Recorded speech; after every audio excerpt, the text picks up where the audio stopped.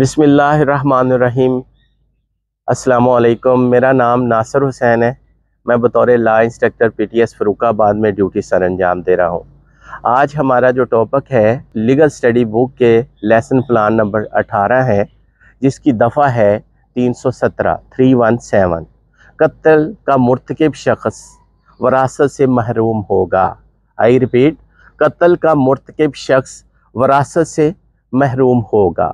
اگر قتل عمد یا قتل شبہ عمد کا مرتکب کوئی شخص کسی وصیت کے تحت وارث یا منفت دار ہو، تو وہ بطور وارث یا منفت دار شکار زر رسیدہ کی جائیداد کی وراثت سے محروم ہو جائے گا۔ اس کی شرح تھوڑی سی میں بیان کرتا ہوں کہ اگر کوئی شخص کسی کو قتل کر دے، جو قتل عمد یا قتل شبہ کے زمرے میں آتا ہو، تو ایسا قتل مقتول کی جائیداد سے وراثتاً حصہ حاصل کرنے سے محروم ہوگا۔ اسے قتل میں یہ خیال اغلب ہوگا کہ قاتل نے جائیداد حاصل کرنے کے لیے خون نحق کیا۔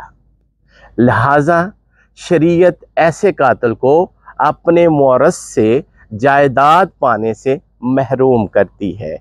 دفعہ تین سو سترہ قتل کا مرتب شخص وراثت سے محروم ہوگا۔ یہ اس کی شرح بھی میں نے بیان کر دی ہے۔ اب بات کرتے ہیں دفعہ تین سو اٹھارہ تھری ون ایٹ تعزیرات پاکستان، قتل خطا کیا ہوتا ہے؟ قتل خطا کیا ہوتا ہے؟ جو شخص کسی شخص کو ہلاک کرنے یا ضرر پہنچانے کی نیت کیے بغیر، میں پھر رپیٹ کر رہا ہوں، جو شخص کسی شخص کو ہلاک کرنے یا ضرر پہنچانے کی نیت کے بغیر فیل کی غلطی یا واقعہ کی غلطی سے اس شخص کو ہلاک کر دے، اسے قتل خطا کا مرتکب کہا جائے گا۔ مثال کے طور پر آپ اس بات پہ ذرا غور کریں کہ ایک میں مثالیں دو دیتا ہوں۔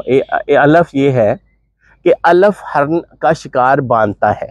الف ہرن کا شکار باندھتا ہے، لیکن نشانہ خطا ہو جاتا ہے اور دال کو مار ڈالتا ہے۔ اس کے پاس کھڑا ہے تو وہ قتل خطا کا مجرم ہے۔ اسی طرح بی میں میں پھر ایک مثال دیتا ہوں۔ الف ایک شے کو سور سمجھ کر گولی مارتا ہے۔ ایک شخص شے کو سور سمجھ کر گولی مارتا ہے، لیکن وہ انسان نکلتا ہے۔ الف قتل خطا کا مجرم ہے۔ یہ ہے دفعہ تین سو اٹھارہ۔ قتل خطا تعزیرات پاکستان لیگل سٹڈی کے لیسن پلان نمبر اٹھارہ میں یہ درج ہے۔ شکریہ۔